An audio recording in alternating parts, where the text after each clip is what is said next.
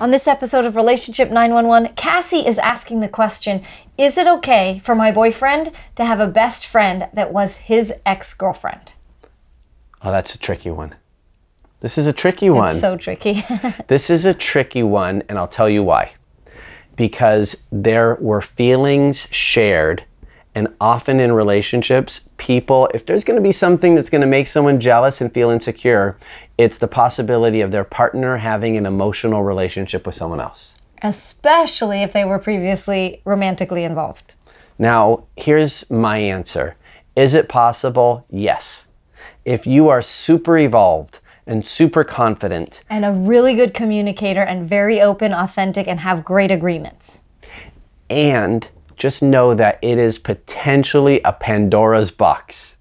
Because what like just like what we were saying if in relationships the reason why people have friends and the reason why people have often best friends is because they need someone that they can share with they can share experiences with they can have conversations with. And often if you're in a relationship and there are things that you need to work through well who do you talk to? You talk to your friends about it. Well how's it going to go when you're talking to your ex partner partner it potentially could be really, really sticky. So the key is to know what you're getting into in advance. And to also know the nature of your relationship. If this is your soulmate, if this is your person, if this is a, something that you feel like we can manage this and handle it, then maybe you need checkpoints, you need milestones, you need parameters around it that help you know, yes, I still feel comfortable. Yes, I still feel comfortable, but you have an agreement. If at any point something doesn't feel comfortable anymore, you'll bring it forward. You know what's so funny is we were just talking about When Harry Met Sally, which is one of my favorite movies. And the whole premise of the movie is that men and women can't be friends, that they actually deep down want to have a physical relationship. And we don't have an answer. This is an age old question.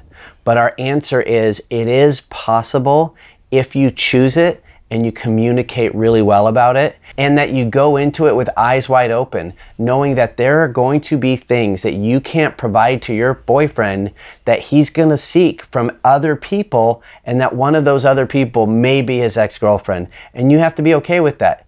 And there are things, we, we talk about this all the time, that I can't provide for Monika. There is times when she needs girl time and that she goes out and she's with friends because it's not something that I'm providing for her. That's right. And, you know, if we really want to get edgy on this one. There's even relationships where people have open relationships and it totally works.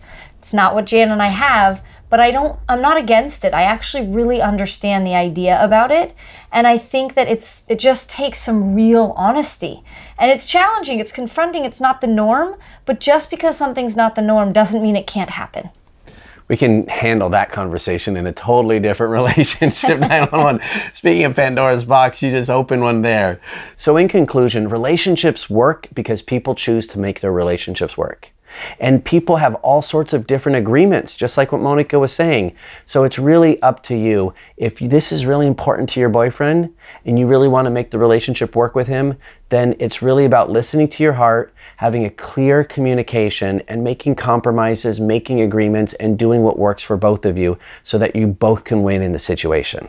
So, if this is a topic that is near and dear to your heart, if you've been in a relationship and your partner has had a best friend that was a significant other, we really want to hear about it. Our audience wants to know. This is a question we get a lot. So, please comment below.